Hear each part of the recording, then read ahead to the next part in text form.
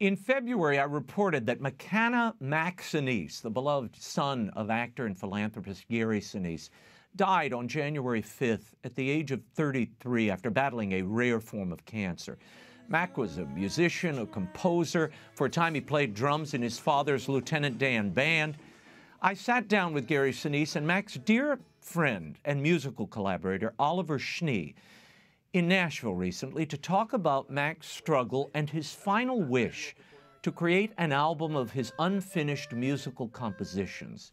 It is a story of healing, hope, and faith with a lesson for all of us. Mac Sinise was diagnosed with cancer in 2018, sparking a struggle and a final work he could not foresee at the time. Here's my interview with Gary Sinise. Tell me what Mac was like before the cancer diagnosis. He was just a, you know, Mac uh, is a, he's just full spirit, kind of a little bit shy, but a very, very smart, deep thinker. Um, really, really was a, the kind of person who um, you couldn't just sort of tell him something and have him sort of accept it and just kind of go on. He would he would want to know, well, why you think why do you think that? You were telling me the other day about 2017 when Mac has a reversion to faith, to his Catholic faith. So he went to USC. He graduated from USC, um, uh, Thornton School of Music. Mm. Um, uh, studied songwriting, composition. He was a drummer, you know, really, really great drummer. Then he graduates and he goes off and starts the music thing. And he was in the music thing, and uh, you know, at one point he he just was not as happy as he wanted to be. He just found himself kind of at a loss. Uh, so he came home uh, for a while to kind of regroup.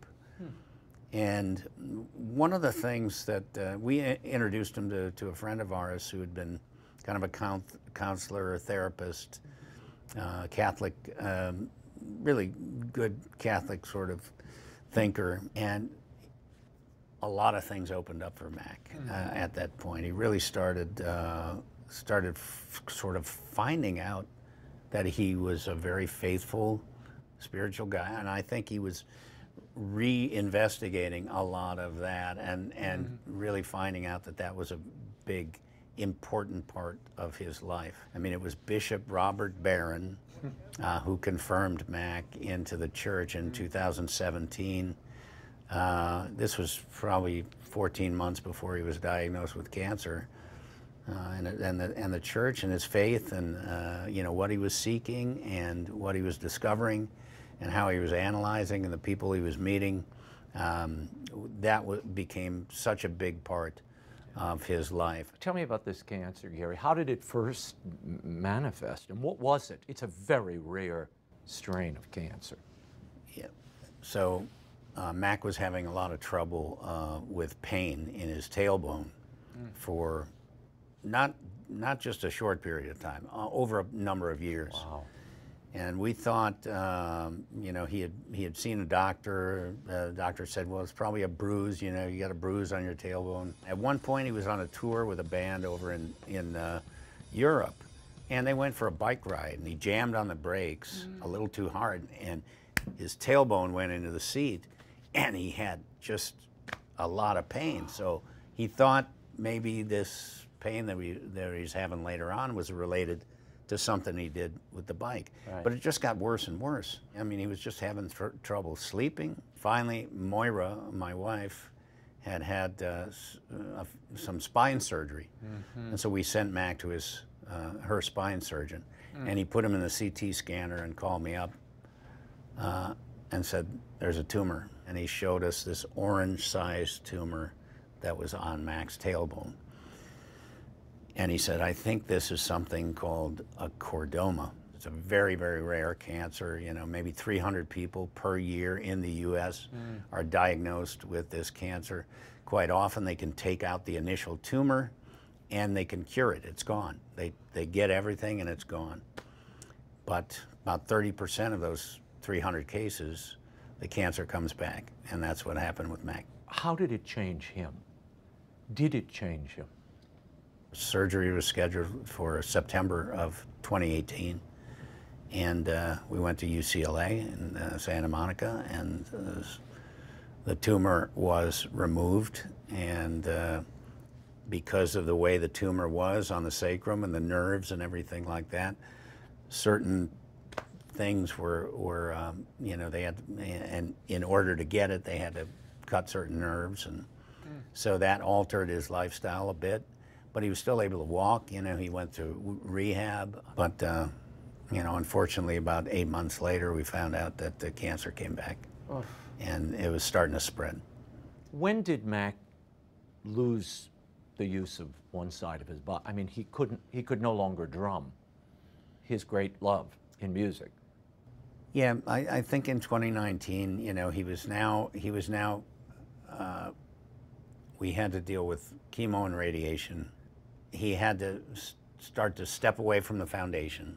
He was still able to walk, but he had, he was he was just you know he was in the in the battle, and then we found out right around Christmas time in 2019 that there was more tumor on his neck, so he's going to have to go in early 2020 and uh, get another surgery on his neck to remove tumor here. He was in there for two months. This is 2020. now remember, two months.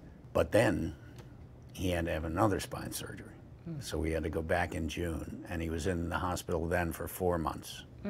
So six out of the first eight months of 2020, he was in the hospital, and it was that one that the the nature of removing the tumor from the spine did a lot of damage to his right side, mm.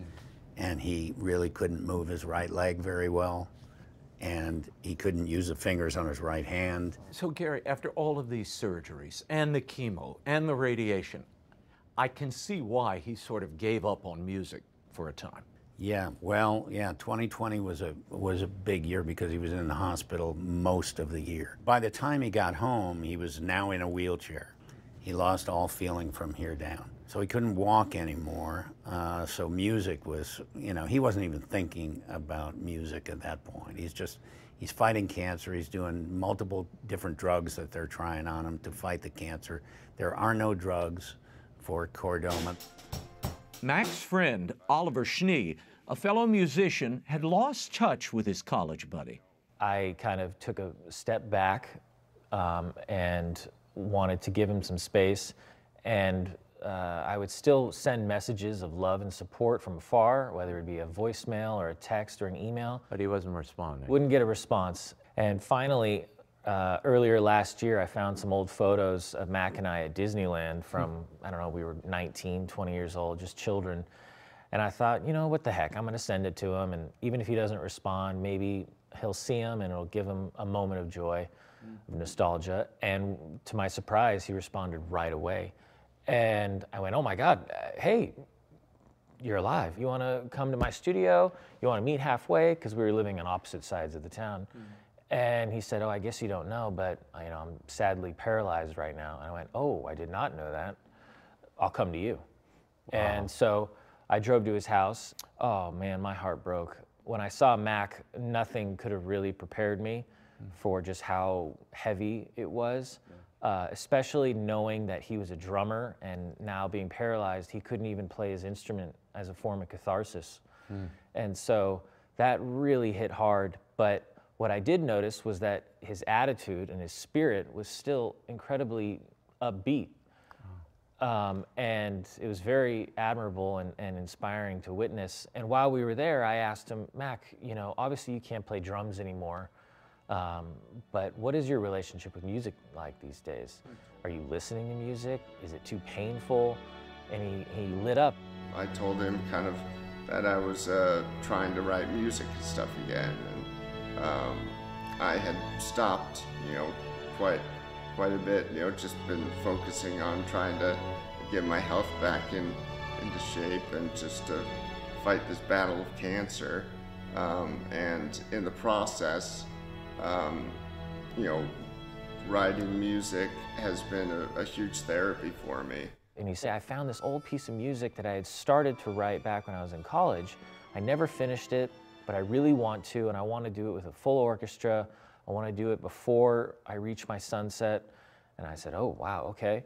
Um, can I hear it? And so he sent it to me, and I called back the next day and I said, Mac, this is really good. And is that how he put it to you? You mentioned a moment ago, he said, we, we want to get this done before my sunset.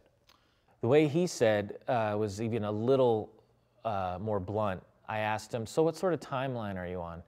And he said, Well, preferably sooner than later. I'd like to have it done before I go. And I went, Oh, oh wow. boy. well, that's, that's something I never needed to hear. I mean, mm. but totally got the message across. Totally, The I mean, urgency of this. yeah, it's the true definition of deadline, you know? Mm. And it was just like, okay, let's get this done. Hi, everyone.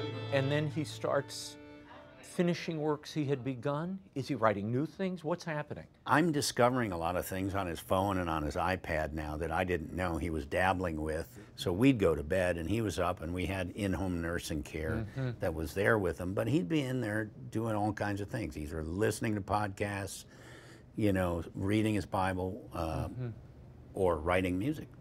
we we discovered. So he was playing with some different ideas. How was he writing these pieces? Yeah, that's a great question. I was curious how he was doing that too. And then when one of the days I was at his house, he's in his hospital bed and he's got a little stylus velcroed to his hand with an iPad and he's tapping in individual notes one by one.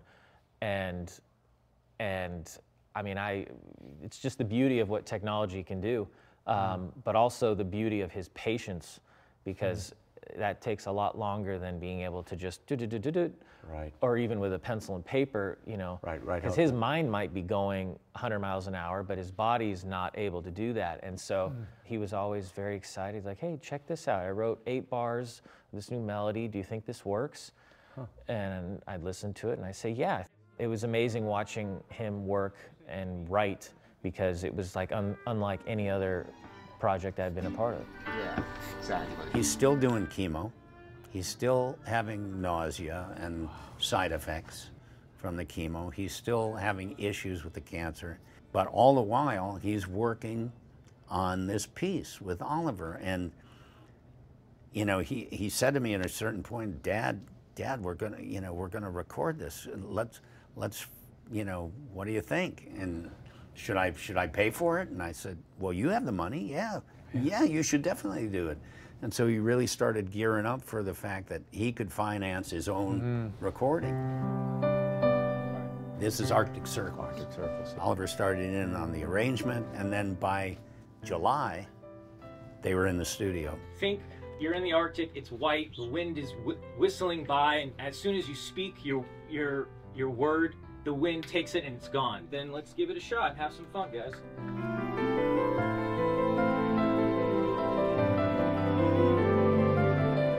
It was this it was this wild mixture of his body failing, but mentally, creatively, spiritually, he's still going. And there's still a lot of music inside him that wants to come out and hmm. that needs to come out.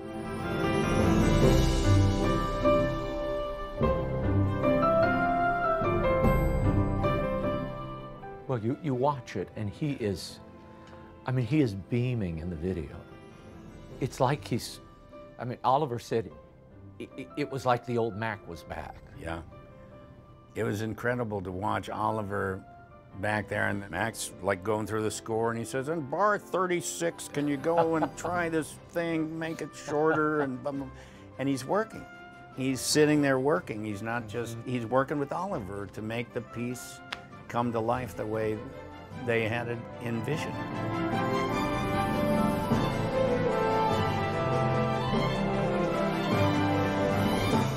It was beautiful, and I, Raymond, I hadn't heard any of it Really? until that day.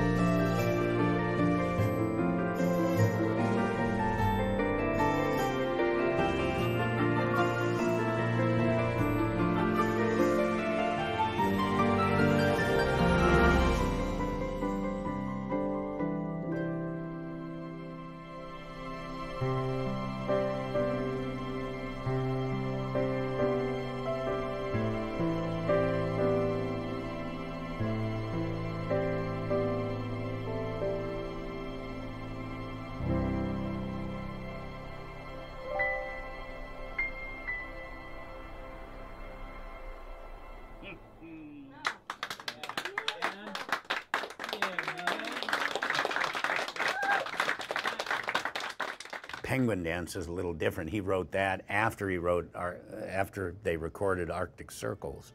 He wrote Penguin Dance. He's sitting there watching penguins in nature shows on his television, and just was inspired to wrote that, write that song.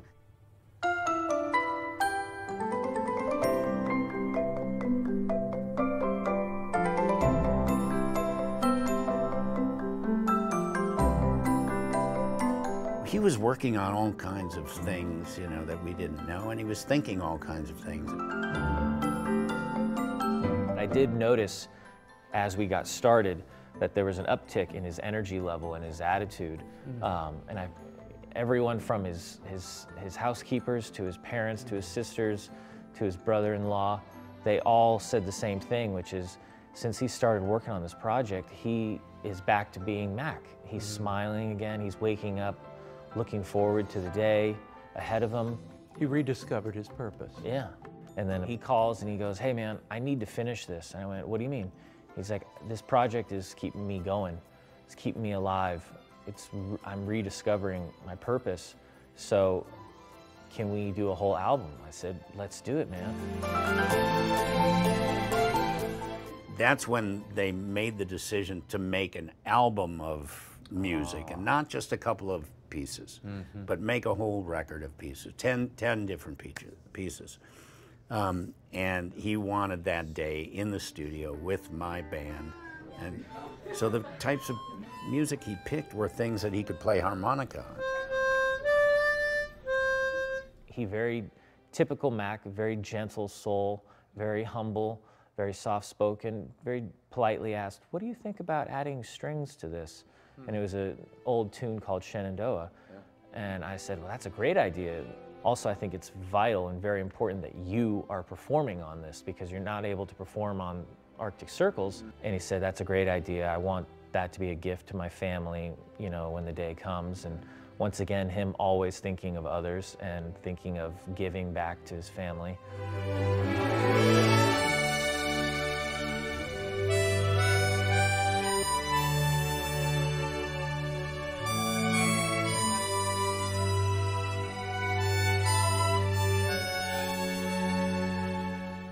With his breathing, he could only really play up to 15, 20 seconds at a time. Um, and his timing was still brilliant being a drummer. That internal clock never left him.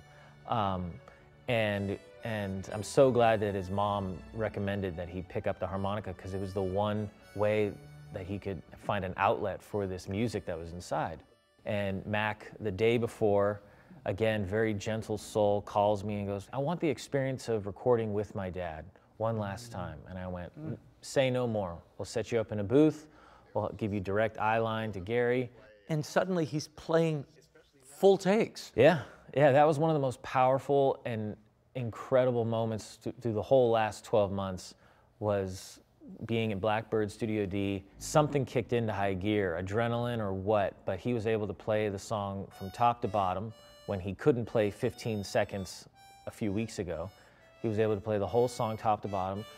So we play Red River Valley uh, on his record with Mac playing harmonica. My singer Jeff Vezain sings the lyrics. I'm playing bass. That was a, that was a great moment.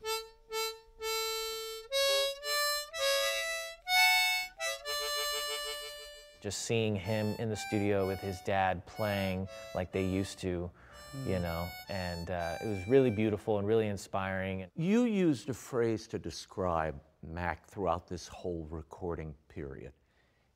What was the line you mentioned to me? uh, spitting out the venom. I don't know where I heard it a few years ago, but it always stuck with me, and basically meaning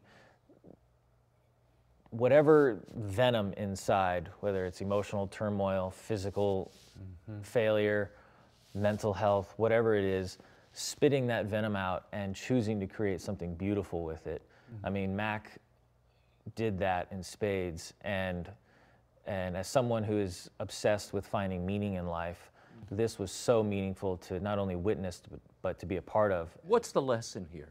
What's the lesson here for The other people is- who are suffering the same way? Mac wanted to keep living, you know, in spite of the damage that was being done to him by the disease. And he, every moment that he had that he was feeling good, he was taking advantage of it. That's what we talked about a lot, you know, because sometimes Mac would start to think down the road a little bit too much. And I said, Mac, it's, you know, well, what if I don't feel good, you know, when we want to go over here or when we want to do mm. something? And I said, you know, we, we discussed together, you know, the fact that he should not spend time thinking about that. You know, not spend time thinking about what might be down the road or what. And he got really good at that, at, at thinking for today and, you know, living for, for today. And,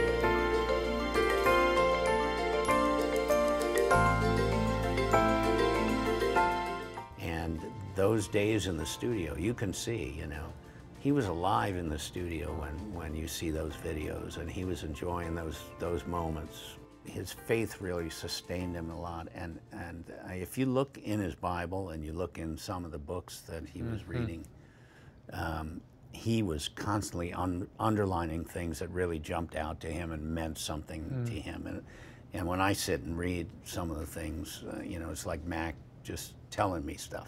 Mm-hmm. You know, it's it's like messages. You know, What do you think he's telling you now? keep going, Dad.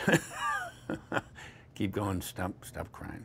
No, you're you're doing it. It's an amazing tribute to him and his it's his spirit that you hear in those recordings. And when you sent me that first clip, I think it was Arctic Circles that you first sent Yeah, me. yeah. And Shenandoah. I remember it was at the end of the year, and I'm reporting all the normal crap and trash we have to report day in and day out, political and otherwise. And I thought, this is the end of the year. You got to give people some hope.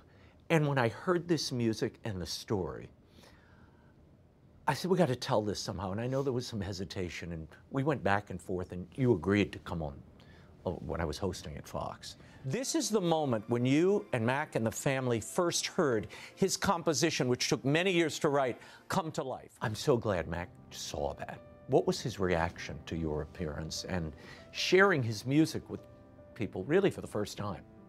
what what I feel now is that you know, and especially after seeing how Mac lit up mm. when I did go on your show, and you featured his music, and I was in the satellite truck in our driveway doing the interview live with you while he was in the house Watching. watching it, and then coming in and seeing the look on his face and how proud he was and and smiling. And the next day I had to take him to the hospital.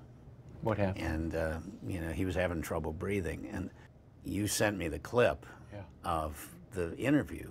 And he was in the hospital showing that clip to while he was still able to showing the clip to the nurses and the doctors and then they would go to his YouTube channel and look at the music it, the come back in crying and tell him how great it was and then he'd light up and smile.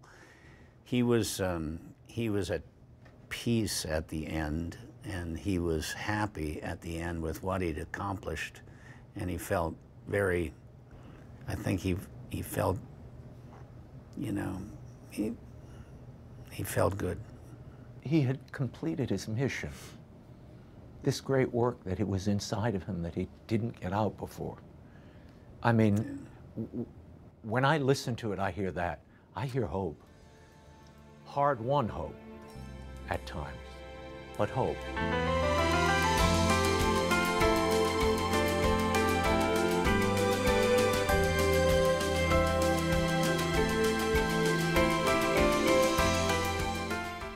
Take it back to like a year ago. There, there were certain parts of of this whole journey that I I didn't think I was going to survive through. And maybe if I just get in touch with a friend of mine and and you know suggest like maybe we could you know do an album and and you know that that that was just way far off my uh, radar. You know, didn't think that was possible at all. And you know, here I am. You know, two two months later or whatever it is, and the the ideas that were in my head are now realized into reality. So it, it just goes to show me that like I have to, you know, just um, keep, um, you know, keep moving forward. With Mac, you know, he, he, I think he, at a certain point, he accepted what was happening. In fact, I know because uh, since since then, as I said, I went into his phone and I went into his iPad, and I found things that he wrote, you know, like years ago when he thought maybe he wasn't going to make it or it wasn't going to be around very long.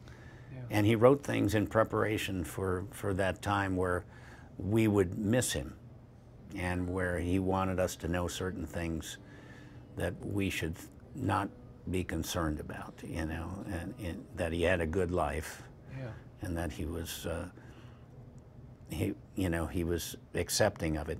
And then toward the end, where he just said, I'm going to live as much as I possibly can for, for whatever time I have, and we don't know how long that's going to be. And what do I want to do? I want to complete some things that I never completed before. And, and he did that. And that's, that's a really positive, inspiring uh, story of, of perseverance through real obstacle and real challenge. No matter what, don't give up, fight on, you know, live to the fullest as, as long as you can. Gary, I have to tell you, I, I mean, Moira had her own health battles while Mac is having his. I mean, how, how did you, how did you balance that, deal with it? I mean, these are two of the people you love most in the world, and they're both, these are grave health challenges they're both facing at the same time. Yeah, we found we found out Moira had cancer uh, two months before we found out Mac had cancer, and she had had multiple spine surgeries and hip surgeries. And then along comes Mac, and he's got a big tumor and he's got a cancer, and, and we've got to fight. It has to try you, though, try your faith. There were there there were were there times where I just kind of fell down on the on the stairs and Yeah. yeah yeah yeah there were some there were some very challenging moments where I just I didn't know uh, I I think most challenging was kind of not knowing what to do you know I, I'm I'm running out of Options. I'm running out of ideas to help both of them, you know. Um, yet you get over that pretty quickly, and then you make the next phone call. You know, call the next doctor, or try to figure out, you know, the next the next step. And I didn't want Mac thinking about his cancer Right. problem all the time, and Right. you know what doctors to call, and you know who to Yeah. talk to about this and that. I, I tried to take that as much as I could. Well, that's real faith. The act to just keep going. Yeah. That's real faith. You know, and I've learned a lot, uh, Raymond, over the years from a lot of very, very broken families, you know, that we deal with at the Gary Sinise Foundation. We're dealing with a lot of, you know, difficult things, you know, wounded folks and, you know, broken families that have lost loved ones, uh, you know, in military service. And I've been around that a lot. I've been in the hospitals a lot. Uh, you know, I, I felt like when, when a lot of this stuff started happening, I was, I was sort of somewhat prepared for it because of the amount of time I'd spent with other families that were going through the same thing and watching them kind of power through and just back and continue on. do what they got to do. So that gave me a lot of strength and courage and, you know, ins- inspiration to just face it. And I, you know, prayed prayed on it. And, you know, we, we have a, a strong family. Our daughters are amazing. Their husbands are amazing. Uh, my wife is amazing. The way she's dealt with one physical problem after after another, and our faith has been been good to us and strong to us, uh, strong for us. Animated by that faith, the Sinise family are honoring Mac with the release of his first album. And he calls it Resurrection and Revival because everything, all his film composition stuff, with the exception of Penguin Dance, is kind of, he's kind of bringing it back to life. Mm-hmm. And then he's got older songs uh-huh. that are on there, like Red River Valley and Amazing Grace and yeah. stuff that he wants to sort of revive and bring back to new life. Mm. And he calls it Resurrection and Revival. He designed the album cover. He designed the back. Uh, you know, he wanted he wanted to print. He said, "Dad, what do you think if I just print up a hundred vinyls to get so we can give them to people? And if we sell any, we can uh, the, the the proceeds can go to the Gary Sinise Foundation." Mm. I said, oh, "That's a great idea, Mac. Do it." Mac, who was the one who was unhealthy, is the one giving all of us the good medicine, you know, and still to this day, he, he, we find little, little gems of pieces of music that he, you know, started to write and then put on the shelf and, and then started to write something else. Kind of angled looking this way so we can get a shot of you playing and the players are behind, you know? Okay. Yeah, and Oliver did a tremendous job. Uh, they were a great team, and uh, you know, it was God at work there that just out of the blue, you know, they reconnect after all those years, and then they go to work together and create this music. It was beautiful. Spectacular. Gary Sinise, you're a good dad. Thank you.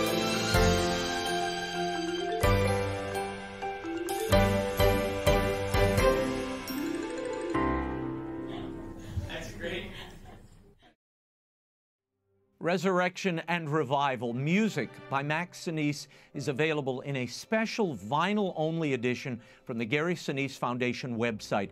Visit store.garysinisefoundation.com to place an order. Per Mac Sinise's wishes, all proceeds from the vinyl edition of Resurrection and Revival will go to benefit the work of the Gary Sinise Foundation.